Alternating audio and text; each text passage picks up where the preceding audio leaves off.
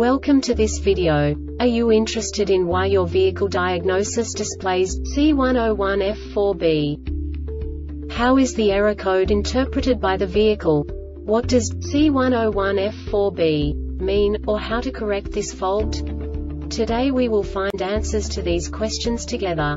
Let's do this. First, let's look at the history of diagnostic fault code composition according to the OBD2 protocol, which is unified for all automakers since 2000. We divide the electric system of automobile into the four basic units. Powertrain, body, chassis, network. This distribution is defined in the first character code. If the second character is expressed as zero, it is a standardized error. In the case of numbers 1, 2, 3 it is a more prestigious expression of the car-specific error. The third character specifies a subset of errors. The distribution shown is valid only for the standardized DTC code. Only the last two characters define the specific fault of the group. The add-on to the error code serves to specify the status in more detail. For example, a short to the ground. Let's not forget that such a division is valid only if the other character code is expressed by the number 0. Our website airbagreset.sk produces useful videos for you. You do not have to go through the OBD2 protocol anymore to know how to troubleshoot any car breakdown. You will find all the diagnostic codes that can be diagnosed in a Infiniti vehicles. Also many other useful things. The following demonstration will help you look into the world of software for car control units.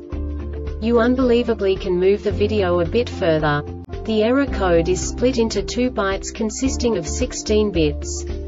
One bit is the basic unit that each computer works with. The bit has two logical states. 0, low level, 1, high level. By combining the first two bits, the basic character of the error code is expressed. The next two beats again determine the second character. The last beat styles of the first byte define the third character of the code. The second byte is composed of a combination of 8 bits. The first 4 bits determine the fourth character of the code. And the combination of the last 4 bits defines the fifth character. A single byte conceals 256 possible combinations. We now know in what way the diagnostic tool translates the received information into a more comprehensible format.